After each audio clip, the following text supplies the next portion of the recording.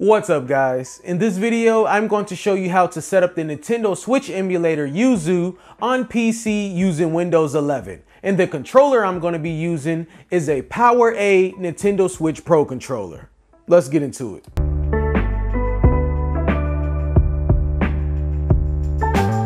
Okay guys, let's go ahead and head on over to yuzu-emu.org. Link to this page is in the description below. Once you're here, go ahead and click on download. Now Yuzu requires the latest version of Microsoft Visual C++. If you're not sure if your PC already has this, then go ahead and download it here. And the Yuzu emulator is available to download for Windows and Linux. So we're gonna go ahead and click up here in the top right, download for Windows x64. Now on my desktop, I have the Yuzu installer, my firmware, and my keys. Now I'm sorry guys, I cannot tell you where to get the firmware and the keys. Let's go ahead and open that Yuzu installer. Now you have an option to install Yuzu Early Access or you can install the standard version of Yuzu. If you decide to go with Yuzu Early Access, it will cost you $5 per month. But for this video, we're just going to be sticking with the stable version of Yuzu. Install. Yuzu is now installed. Exit and launch Yuzu. Now when you first launch Yuzu, it's going to say encryption keys are missing, but don't worry about this because we're going to install our keys, okay? Anonymous data is collected to help improve Yuzu. Would you like to share this? It's your choice. I'm going to choose no.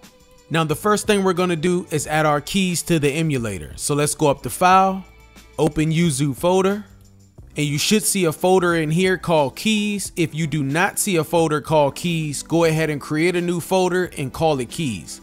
Let's open that folder. And now we're just gonna drag our product keys from our desktop and our title keys from our desktop into this folder. Go ahead and exit out. And now we're gonna install our updated firmware file that we also have on our desktop. So let's go back up to file, open Yuzu folder, we're gonna go to NAND, System, Contents, and Registered. Now I'm gonna open my firmware folder and just to let you know, your firmware file will have to be extracted and then you will not move that extracted folder into this folder. Instead, you're gonna open the extracted folder and you're gonna highlight everything that's in the folder and you're gonna drag it all into the emulator folder. Now we can exit out now let's go up to emulation, configure. Now in the general settings, you'll see hotkeys. If you want to know your options for your keyboard hotkeys, then go ahead and take a look at these. And then let's go down to graphics.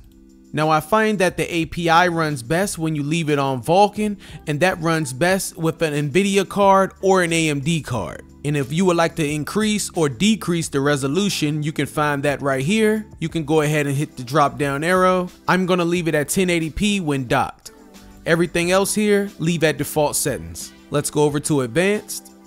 Go ahead and leave everything at default settings here as well. Now, if you start playing some games with this emulator and it seems that your games are stuttering, then you may want to come back to advanced graphics settings and turn your accuracy level from high to normal. But that's only if you encounter any issues while playing a game. Let's go down to controls.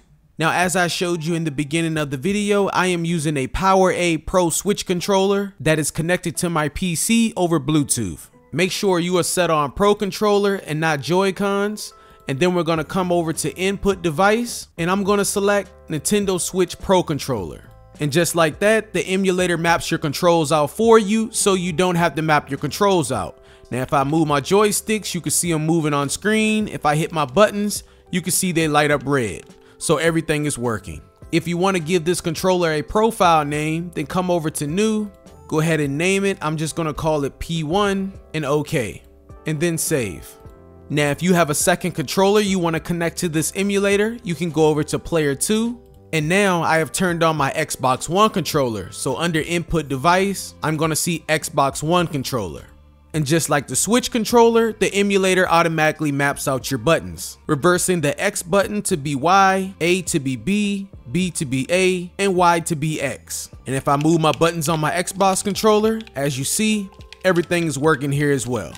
And we can give this profile a name as well, new, and we'll call this P2, okay? Save, and we are done here, so let's come down to okay. Now let's load our games into the emulator. So right here where it says double click to add a new folder, go ahead and double click here.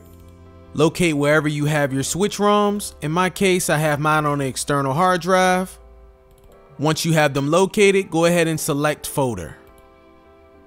And there we are, all of my switch ROMs have loaded into the emulator.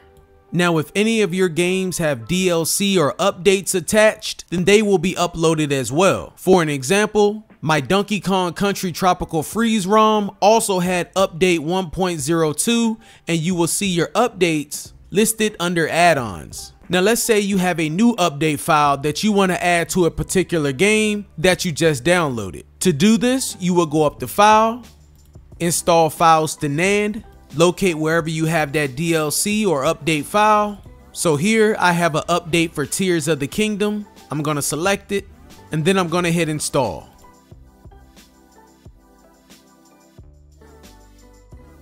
Okay, now if we look down here next to Tears of the Kingdom, you'll see update 1.1.2. Now to verify that update, all you want to do is right click on the game, go to properties, and there it is, version 1.1.2 update. Now, if you want to disable this update, then go ahead and uncheck the box and hit OK. And then you will see a D in front of the update, meaning that update file is disabled. Now, if you have any DLC for your games, then you will upload your DLC the same way as you upload your updates. And one last thing before we load up a game, if you look at the very bottom of the emulator, you will either see docked or handheld. If it says handheld, then your games will run at a lower res, in my case 720p, but if you change it to docked, it will run at the higher res, in my case 1080p. It all depends on what resolution you chose in the configuration, but I recommend always running your games in docked mode. And now we can go ahead and load up a game.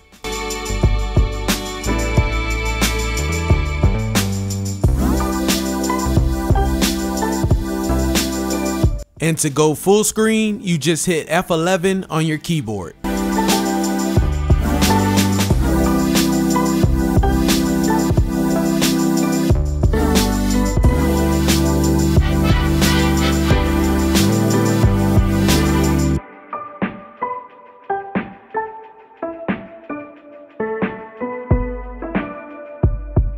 Thank you guys for watching. I hope the video was helpful. If it was, make sure to leave a like and also subscribe if you haven't already. And if you need any additional help and want to see my exclusive videos on this emulator plus more, then join my Patreon. I will catch you guys in the next one. Peace.